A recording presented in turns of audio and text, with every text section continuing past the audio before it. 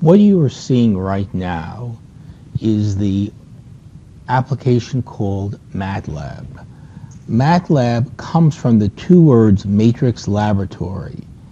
And while it's a very powerful calculation tool and programming tool, it really centers around matrices, which is something we'll be talking about in subsequent videos.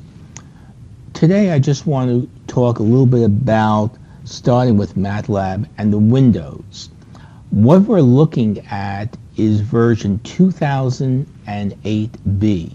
And again, to look at the version, you can go to the Help window and About MATLAB, and you notice that we're dealing with R2008B, which is the most current version.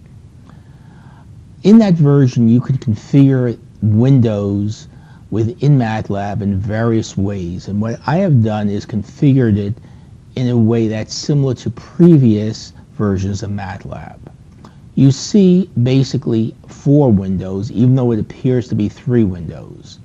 The main window is called the command window.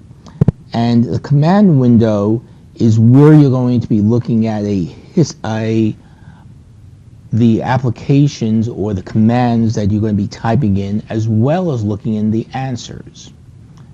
On the left, you actually will see two different windows. One is called a workspace and one is called current directory. The workspace will show the variables that you have in your command window the current directory will show any applications, and you notice there are a number of them, including files that end in .m, which we'll be again talking about in subsequent lessons. You also have a bottom left window called command history, which has history of what you've typed in. Just as an example, if I click in the command window and type 2 plus 2 and I hit the enter key, you notice I get the answer 4.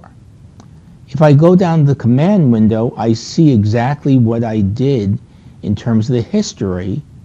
And if I go up to the workspace, I see a variable called ANS, which is a variable called answer. And if I double click on that, I get actually a window and it shows just one item with the number 4.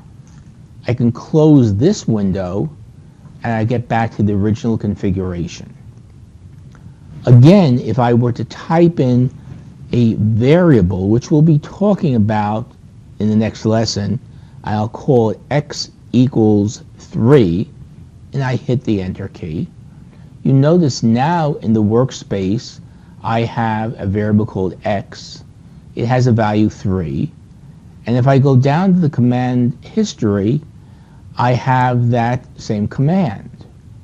If I click on the command history, I can actually drag it into the command window and once again invoke that same command.